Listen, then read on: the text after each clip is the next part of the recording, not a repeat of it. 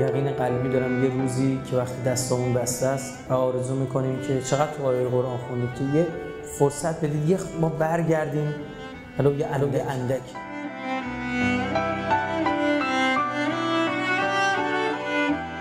ما هم میمیریم شاید. انشالله که نمیریم شهید چی اما گفت شهید بشید وگرنه میمیریم. مردن یعنی تموم شدن یه جورایی. اما شهید زنده است. ما اینا رو متوجه نمیشیم. اما یک جاهایی وقتی رجوع می‌کنیم با آیات قرآن به روایات می‌رسیم به یه سری حرف ها که شهید منشأ اثره.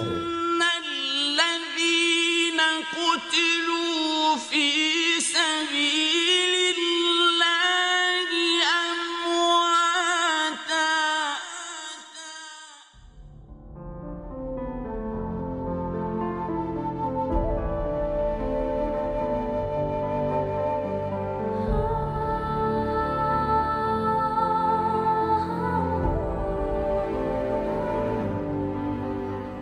زن بچه رو ول می‌کنه. بچه تازه به دنیا آمدش رو ول می‌کنه. بلند میشه میاد تو اون هوا تو اون شرایط اسلحه دست می‌گیره تو اون شرایط. تمام دنیا یک طرف ایستادن.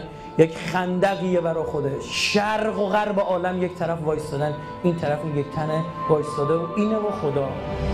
فرای از ایرانی بودن عرب بودن عجم بودن ترک بودن فارس بودن افغانی بودن سوریه‌ای بودن و همه اینها. هر جا ایدئولوژی آن قیام ابتدایی آقا رسول الله آن ایدئولوژی شیعی جوشید ازش شهید بودن.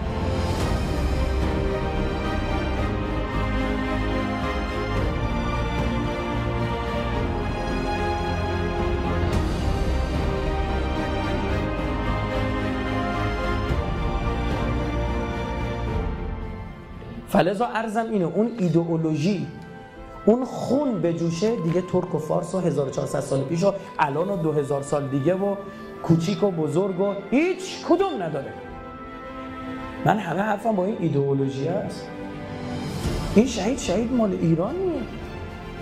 مال کل جغرافیای بشریت نه. انسان ها رو هم بذار کنار. برو بالاتر ببین.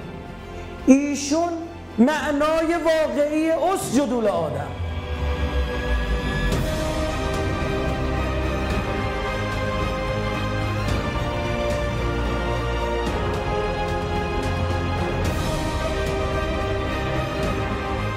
شهدایی که آبرو دادن به نژاد فهمی چی میگم؟ ندارم نژاد مهم نیست اگر کسی قرار آبرو بگیره چی بگیره؟